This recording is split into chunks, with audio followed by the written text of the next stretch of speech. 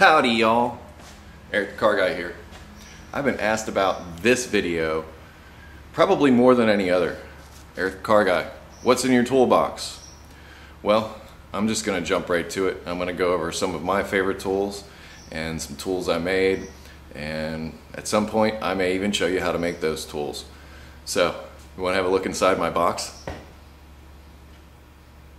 Yeah, that wasn't right. Here's something funny. First thing on top of my box is the camera bag. the camera bag um, obviously carries the camera because there wouldn't be an Eric the Car Guy without a camera bag. One of the things that Eric the Car Guy likes more than anything else is not having to work too hard and leverage is one of those things that can help you do that. So very long, very stout pry bar. You have asked me about my air compressor, this is it right here. Um, it is a 26 gallon, not really great air compressor for doing what I do. In fact, it's probably just barely enough. Let's start with the side box and look in there. I carry around a cordless screwdriver because uh, basically these things are great for taking apart door, door panels and things like that really quickly. Uh, we've got a DVOM, a good one.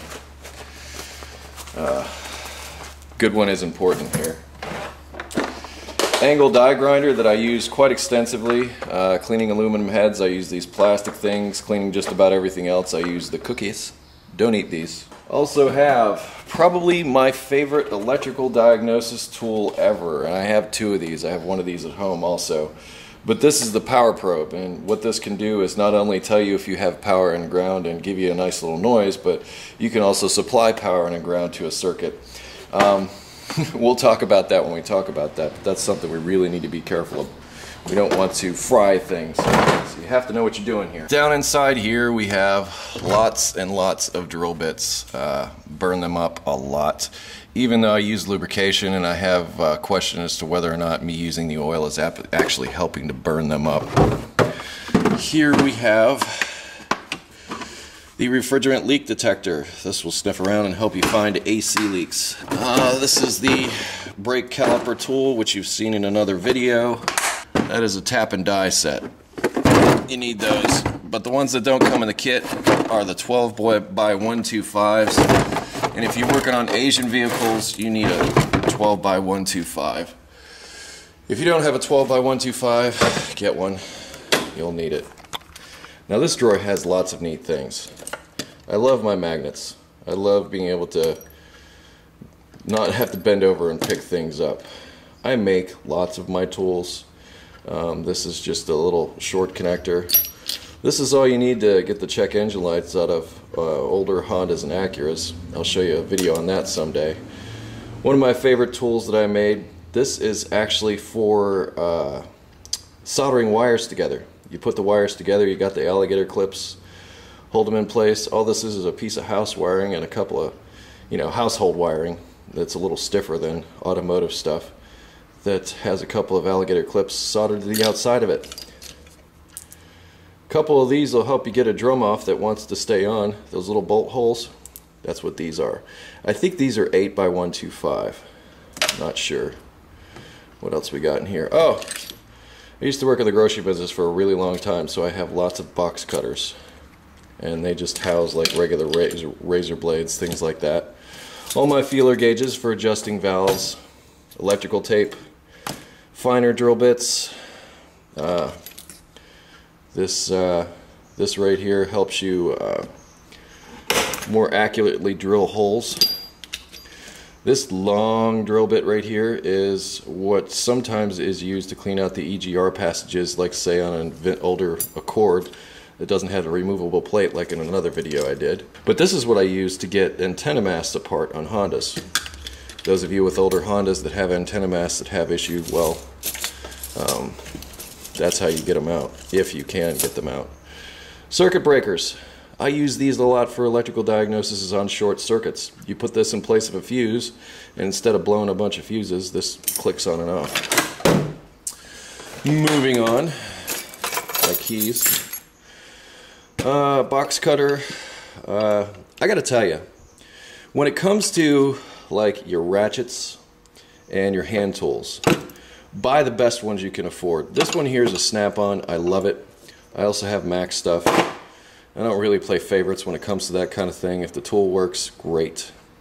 Um, tubing cutter for the occasions when I need that. Tire gauge. And you'll notice I have lots and lots of these. You know what? If you don't have a pocket screwdriver, get one. It's often referred to as the 11th finger. Uh, and I think you've seen this in another video. This is my spark tester. These I use for holding timing belts in place. Yes, you can grab these at any office supply store. Uh, sometimes during installation of accessories on new cars you need a tape measure and I think this one actually does uh, because many of the instructions, yeah it does, many of the instructions on Asian vehicles are in metric. Yes, they actually are a part of the 21st century. Uh, moving on to the drawer with the pliers. You recognize these. I use these extensively. Giant channel locks. Probably my favorite hose pliers right here. Um, you can get really down into places and pull things off. I also use these to get those stubborn plastic connectors that won't disconnect sometimes. Very strong pair of pliers that is sometimes employed to uh, get the springs off of Asian drum brakes. Um, giant hose clamp pliers. Those work well. And of various angles, I have a 90 degree angle set here, and probably my favorite set ever is this. I don't know what this is. Is it a 45 or what have you? Uh, this is fun. Someday I'll show you how to take a McDonald's straw, put a little, uh, what's called dum dum, it's uh, a sealant that goes on firewalls, on the end of it, and you can use this to launch straws like a mile. CV, uh, CV boot tools. This is for tightening CV boot bands. This is also another tool for tightening CV boot bands. Uh, multi-groove adjustable pliers. Ever heard it referred to as that? Or West Virginia fix-all. Or whatever state is close to you where you like to make jokes about inbredness. Um, obviously for electrical work. This is for removing plastic clips also for CV boots, or actually removing inner snap rings is probably a better description of that. This is also, uh, these are hog ring pliers for doing work upholstery, which I put a lot of seat heaters in and use those extensively. Somebody kept asking me about my impact driver. Well, here it is, the snap-on set, and why you break in bits. Well, you know, because I do. I've got a Mac version of this too, and to be honest, it doesn't seem to break bits nearly as much as this one does, and it is of a different design, so perhaps there's something to that. lots and lots of stuff here. Probably the most notable is going to be these swivel sockets that I use. I've got a 10 millimeter and a 12 millimeter. If you've got work on Hondas, you're going to use those a lot. I also have chrome versions that are a little bit shallow. Those are good. Um, you know, 3 eighths to half inch adapters, a couple of universal joints, various extensions.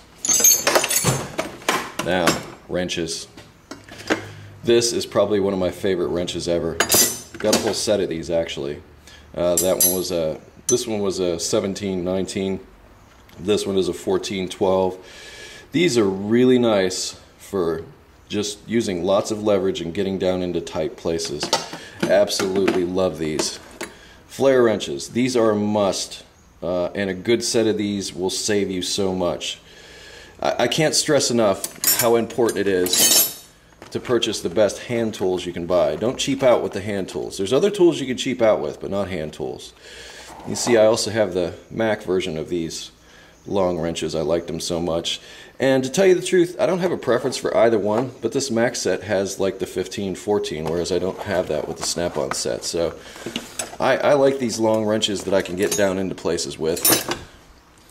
But uh, yeah, I've got all three in here. I've got Matco over here and this set of wrenches. This is probably the first set of professional wrenches that I bought. Had them for years. They work great. Feel good in the hand.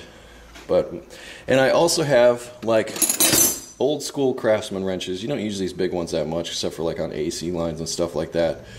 But I also have the, the professional ones in my toolbox at home. And I've got to say, the professional Craftsman stuff is impressive. The difference will come in with hand tools as far as clearance and construction. Like the Craftsman has a much thicker head here, so it doesn't necessarily get down into the spots as well. So you, you weigh it out, but you, you, can never go wrong by spending on your uh, your tools. Uh, sockets, sockets, and more sockets. I use my swivel sockets extensively. Uh, once again, I have a mixed bag here. I mean, these are Sun, these are Craftsman, these are off a tool truck that I bought many years ago, impact sockets. Uh, if you're going to do any kind of axle nut work, I got a 32 and a 36 here. You do need a 30 on occasion, which I do not have. Here's an O2 sensor socket. Here's another O2 sensor socket. Um, ah, the brake tool. You saw that in another video.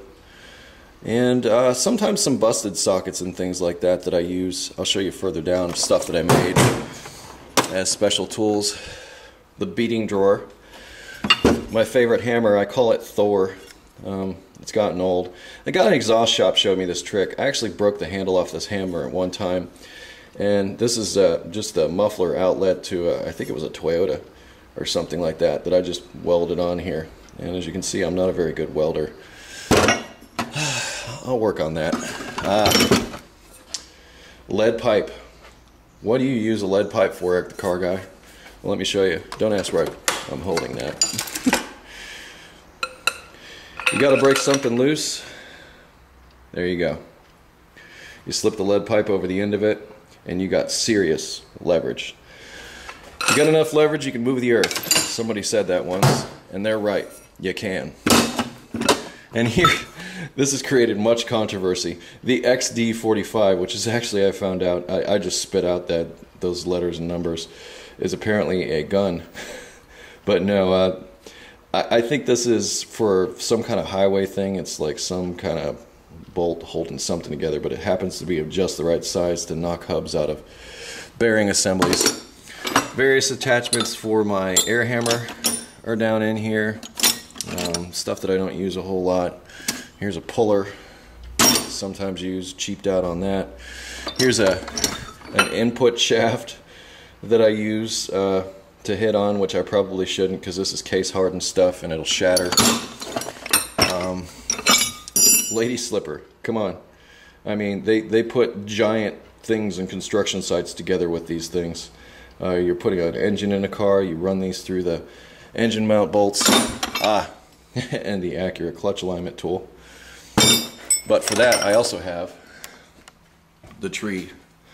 These are all clutch alignment tools. I call that the tree. Back over here. And we have our chisel and punch set. Believe it or not, I got this whole set for 20 bucks from a guy. And it served me well. It really has.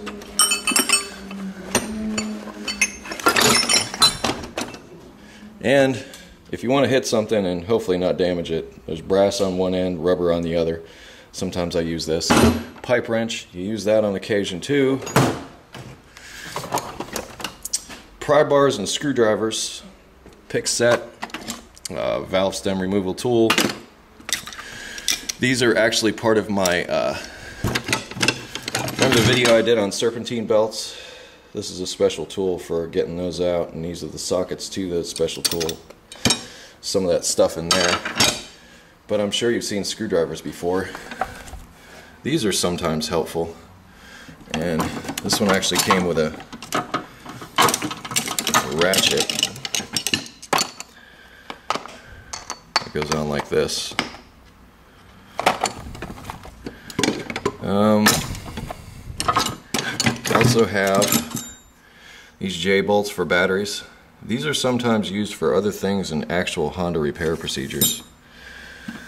Uh, this helps pop loose uh, plastic rivets. And this is a special seal removal tool that I made.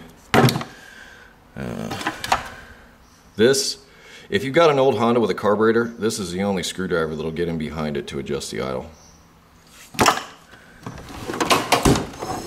Ah, uh, yes, the fun drawer. These are uh, for holding uh, timing belt tensioners. These are for removing the, uh, I guess you want to call it an axle shaft from on an Acura Legend from a transmission. Uh, lots of tools in here. I got my vacuum gauge, my compression gauge, my vacuum pump, uh, degree gauge for when you're tightening cylinder heads. Got some of these. Uh, if you've got a Cadillac North Star, uh, I feel sorry for you. Here's a cam seal installer that some of you might have seen in the Honda Accord video. Another clutch alignment tool. Um, and obviously the calculator. Magnifying glass. All kinds of these valves that I keep just in case. Lubricants. Oh, and look. I haven't seen these in a while. These are all my Acura training things. Stuff these down in the box.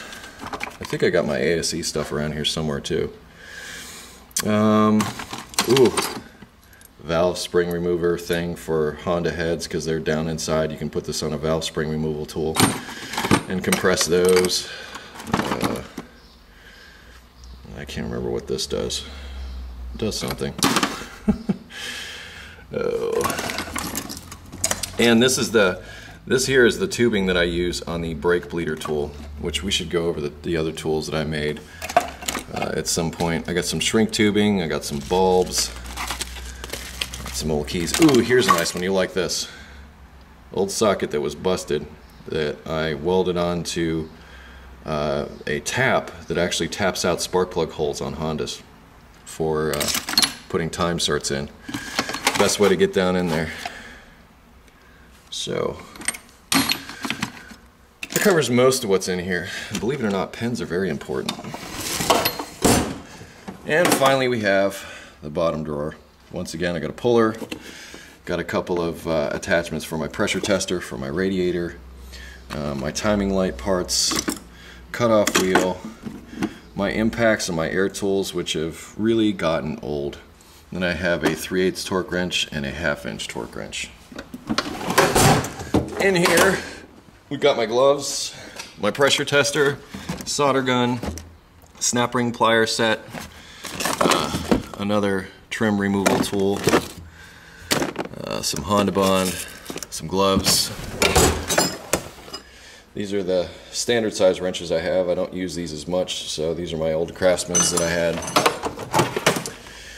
More old Craftsmans. These are for removing uh, uh, quick connect. They're quick connect, but not quick disconnect. You need tools like this to disconnect things like on Fords and Chevy, fuel lines and AC lines, stuff like that. Flashlight, ooh, the ET flashlight. Check this out. Ouch. Ouch. Then we have, oh, more stuff. A bunch of extra bulbs and fuses. Tire plugging tools, safety glasses. You know how I am about that. Wire brush, battery terminal cleaners, uh, specific gravity tester for checking your battery and coolant. Never really do that. Some brake tools. Ah, you'll like this one. This is the Honda tool for removing the trunk springs if you're going to put stiffer ones in to put like a, uh, a spoiler or something in a car. Because if you put a spoiler on a car, it's going to make the trunk heavier, so you have to put stiffer springs in so that the trunk actually goes up. And here we have fuel pressure tester, oil filter wrenches, another oil filter wrench. This, uh, you get a prize if you guess what this is. No? Well, remember this from the valve adjusting uh, video? Well, this is the valve adjustment tool for an NSX. It's the only way you can really get down in there and do anything. You put a 17 millimeter on the back of this and adjust there. Those are fun to do. You'll end up with lots of scratches on your arms. Uh, just a bag of Allen wrenches that I sometimes use. And that covers the toolbox. Alright, battery charger, NICs, extra fluids, spill-free funnel. Love that, love that. Uh, this is actually a modified tool for me. This is the Honda tool. Like uh, if you've got a K-series engine, uh, this keeps the oil, when you take the oil filter off, off of the frame, so it actually channels it away. It normally only comes with that magnet, but I added, added that one. So now I've got two magnets on that. I really like using these. These are magnetic trays. You've got a lot of things to, to uh, a lot of fasteners or whatever. I've got two of them. Got another one here. A lot of fasteners to take apart. It's good to keep them in order. Um, got my AC gauges over there. Actually, that's my old AC gauges. Oh, and of course, the big red wrench. Oh, one of my favorite tools. You know, you can always use a bigger hammer. Always use a bigger hammer. And over here we have my vise, my um, wire wheel with a stone on it, um, mixed bags and nuts and bolts. Newest addition, our vacuum pump and new set of AC gauges because uh, people like their AC fixed. You know about these already, um, quite simply. Uh, put together like that. And you see this right here, this three drawer craftsman thing, which is now the bolt bin. This is Eric the Car Guy's first toolbox. I used to carry this to and from my job and school and everywhere. I used to go to people's houses and fix cars. This was the box I did it with. In fact, it's so old that, uh, or I weighed it down so much I broke the plastic handle off of it. But yes, many memories with this thing and went a lot of miles fixing a lot of cars with it before I got to this point to be here with you. Well, that's a tour of the toolbox here at the shop. I have another one at home with other stuff in it, mostly older stuff. I do most of my work here, so. Oh, one more thing. See that? I like using those carts to wheel stuff around in. It's really cool to be able to put your tools there or parts or whatever. I find it very convenient. I hope you enjoyed this uh, little tour, little tour of my shop and my tools and that kind of thing. And uh, how about we do this? I showed you my tools. Why don't you show me yours? Make a video showing me your toolbox or your special tool or some tool that you made or some tool that some guy gave you that works great, something like that. Post it as a video response below. Uh, let's make this the tool video and tool page and take it from there. Anyway, I'm Eric the Car Guy. You can always find me at ericthecarguy.com. And of course, stay dirty. Dirty.